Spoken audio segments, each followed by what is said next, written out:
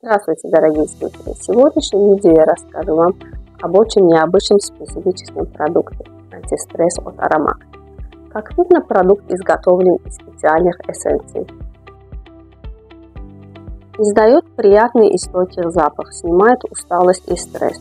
Действительно меняет ауру человека и дарит положительную энергию.